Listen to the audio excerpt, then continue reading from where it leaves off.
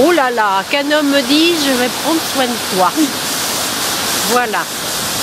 Bah d'entendre que je suis la femme de sa vie. D'amour. Euh, en fait, je demande la main de ma copine et elle accepte.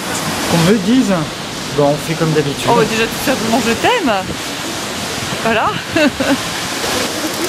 Je t'aime.